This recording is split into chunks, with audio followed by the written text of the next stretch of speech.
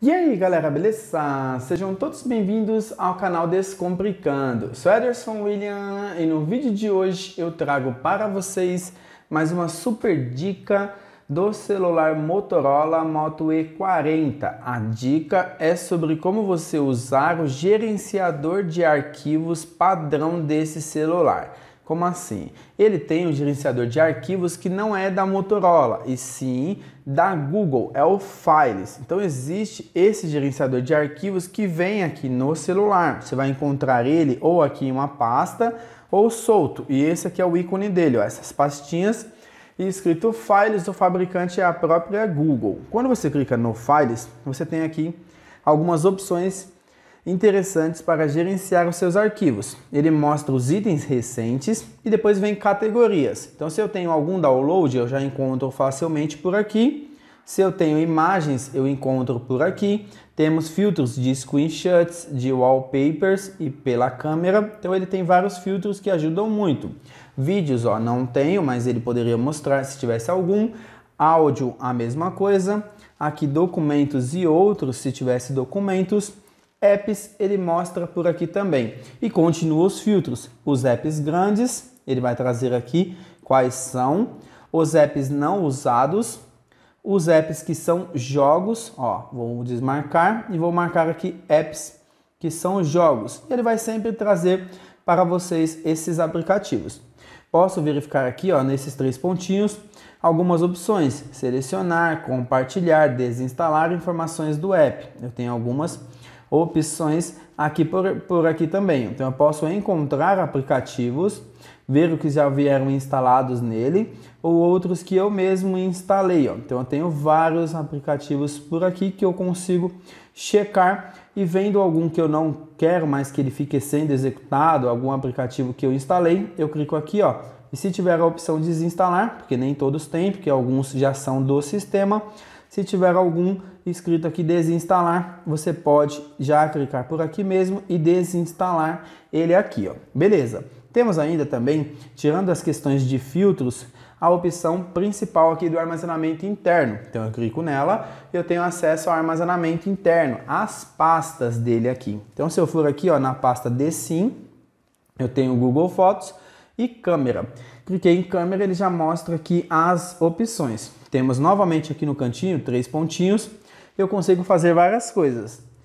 Consigo compartilhar, abrir com, mover, copiar, renomear, adicionar favoritos, mover para a lixeira, mover para a pasta segura, excluir permanentemente, entre outros. Vou excluir, opa, vou excluir permanentemente essa opção. Se eu vier aqui, ó, excluir, não terá como recuperar, eu vou em excluir. Essa outra eu vou excluir diferente. Eu vou mover para a lixeira e deixo ela na lixeira, que ela fica lá durante 30 dias. Depois eu escolho se eu quero recuperar ou se eu quero já excluir e limpar a lixeira, mas eu tenho 30 dias para poder recuperar. Se eu clico aqui para trás, para trás, para trás de novo, vem aqui nos três pontinhos, eu tenho lá em cima, ó, lixeira.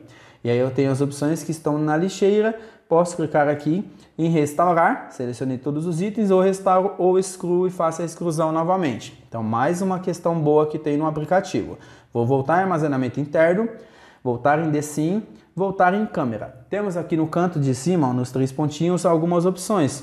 Vou ordenar ou adicionar pasta. Vou colocar uma pasta e uma pasta aqui chamada controle. Por que controle? É o controle aqui das minhas fotos, dos meus vídeos, das minhas coisas. Então, criar pasta, uma pastinha chamada controle. E essas imagens aqui, ó, vou selecionar as imagens, uma, duas, três. Vou clicar nos três pontinhos e quero mover. Então, vou mover essas imagens para o armazenamento interno, para a pasta DSIM, para a pasta câmera e para a pasta controle. E aí temos aqui, ó, mover para cá, clico aqui e pronto.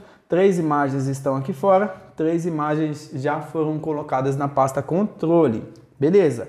Temos aqui também como copiar. Então clico nela, opa, vou selecionar a imagem, vou clicar aqui nos três pontinhos e vou copiar para. Copiar para o armazenamento interno, sim, câmera, controle e copiar para aqui.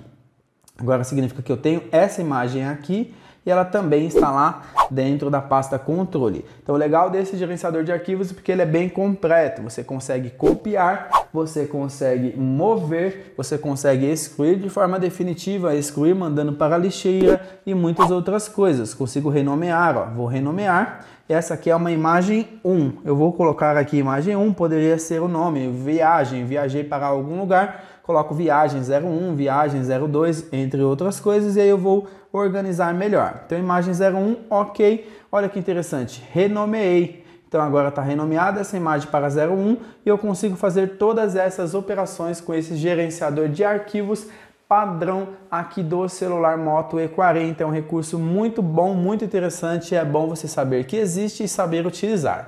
Bom, pessoal, a dica do vídeo de hoje era essa. Se você gostou, deixe um like no vídeo, compartilhe com os seus amigos e até a próxima!